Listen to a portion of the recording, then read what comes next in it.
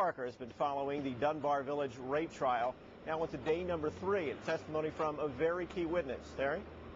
Exactly. First this morning, 16-year-old defendant Avion Lawson took the stand a second day in a row. This time he's telling the jury for co-defendant Nathan Walker what happened that night of the gang rape. He describes himself mostly as a passive follower and Walker and especially co-defendant Tommy Poindexter as the ringleader. 16-year-old Avion Lawson revealed details of a kidnapping and gang rape so horrifying that some people in the audience began crying as the details kept adding up.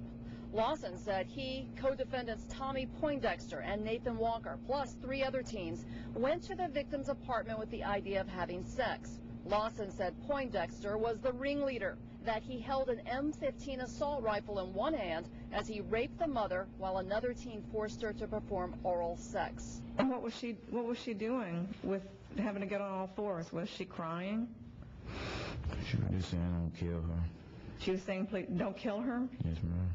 Prosecutors asked Lawson why he pleaded guilty to 14 charges if he didn't do many of the things he says Poindexter actually did. He said because he was just as guilty. Nathan Walker's attorney peppered Lawson with questions, asking, wasn't it true Walker never kidnapped the victims, didn't rape them, hit them, or pour chemicals on them? And Lawson admitted that was all true. Now, Avion Walker, uh, Avion Lawson has uh, ended his testimony, but just in a few minutes, we're going to hear one of the key witnesses, the female victim, the mother, takes the stand. In just about 15 minutes, we will be inside the courtroom, tweeting continuously on WPBF News 25, and of course, we will have a live, full coverage beginning tonight at 5. Live in West Palm Beach, Terry Parker, WPBF News 25. Just to.